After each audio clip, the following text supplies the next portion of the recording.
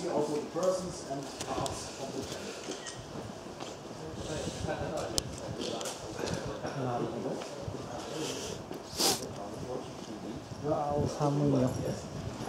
30 At the end of the day,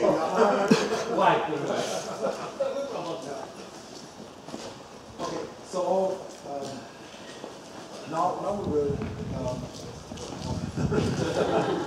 yeah, we need a, a free field.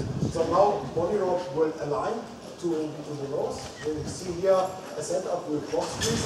It actually is adopted from the box tree nursery, so this is a very realistic scenario. And now rock stops over the first plant. And the, the reason is that now typically the application module, the tool needs to be driven from a parking position into a working position. After this has happened, the process can start and the module can accomplish tasks on, on the field. It now navigates on the field only by means of the laser sensor and it judges, the robot judges itself whether it's on the row or the beginning of the row or at the end of the row. Now, in a short period of time, body will detect the end of the row and uh, reach it, and now again the system stops and waits for a new command. The master is typically the application module, and the reasonable command is now to start the learning maneuver to, to enter into the next row and uh, to further process. You can let's drive the Bonirob now outside of the field in order for you to see over it.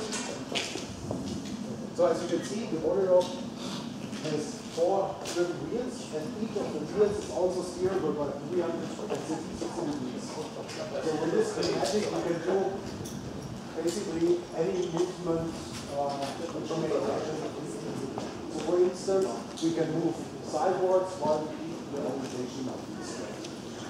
Furthermore, we can also adjust the length of the system from 1 meter to 2 meter by means of these arms to can be rotated.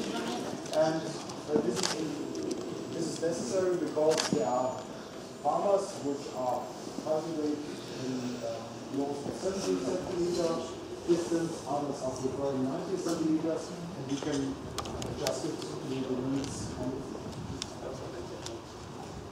So thank you very much for, for your attention so far. And if you have questions, yeah, we are happy to answer.